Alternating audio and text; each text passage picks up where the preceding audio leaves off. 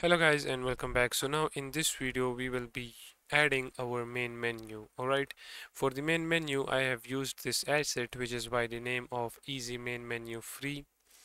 Alright, so make sure that you go ahead and open up the Unity asset store and add this to your asset. Then simply click on open in Unity then open Unity editor. It's gonna open up the package manager. Just simply download this and then click on import and when you click on import right here click on import again.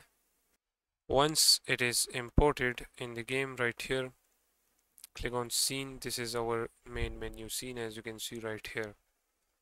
Alright what we're gonna do now is from this we're gonna take this main menu scene and add this inside the scenes folder when you do that, then move this easy main menu to inside this game folder.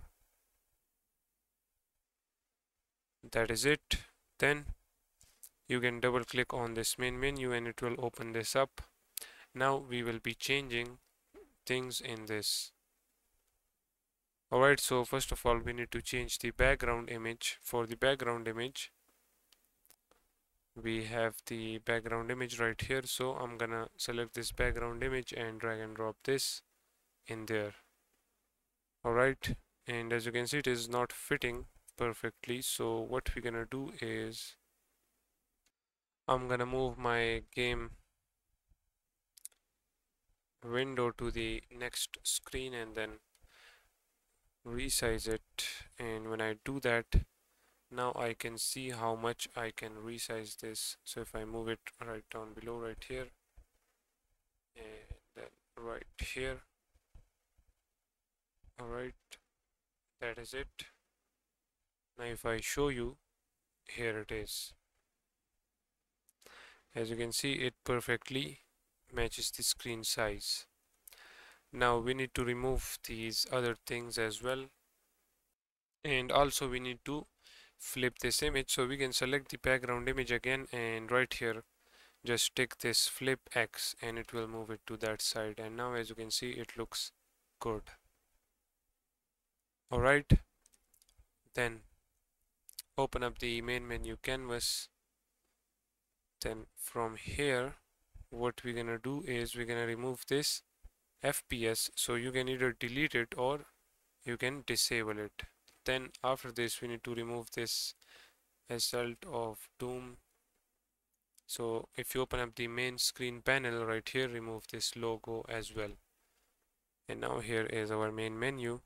Now if we play the game here it is. Let's click on options.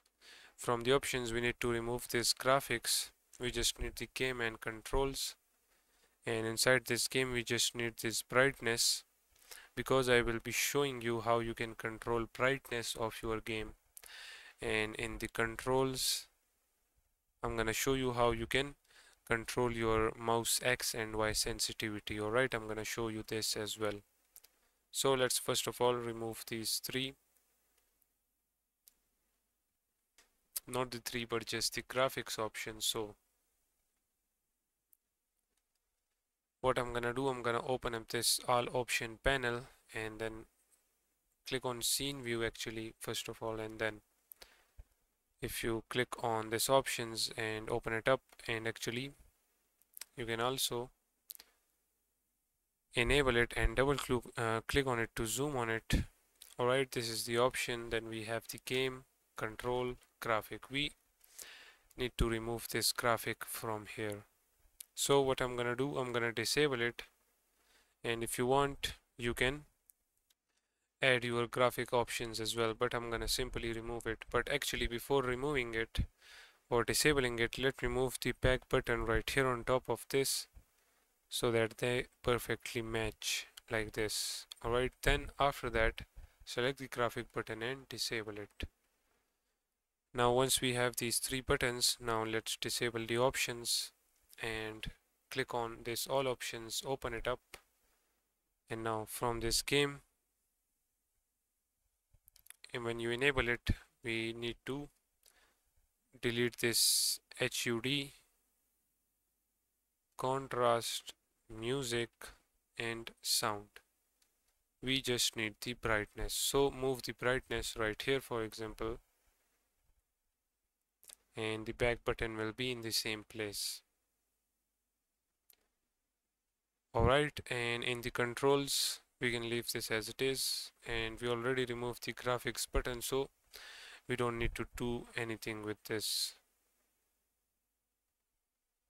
Then we have the load which we will not be messing with it so we're gonna leave that as it is as well. We have the level select as well we're gonna leave that as it is. Open up the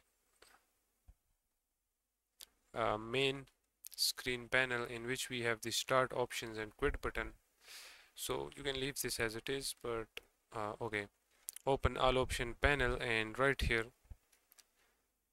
enable this underscore start game options. And from here you can just leave the new game button and remove the continue game button because we don't have any option to continue the story okay? Because we just have one mission. But if you are adding a saving system and also adding different missions then you can add the continue button and continue the game wherever the player left. Alright once you remove all of these options you can then go ahead and play the game again. Here it is. Let's click on options game okay in game we have just the brightness now. And in the controls we have mouse X and mouse Y. If you go back click on start we have the new game button right here. And whenever we click on it we're gonna open up uh, our game scene. Alright once the main menu is right here now in the next video what we're gonna do we're gonna make this main menu workable. So see you guys in the next one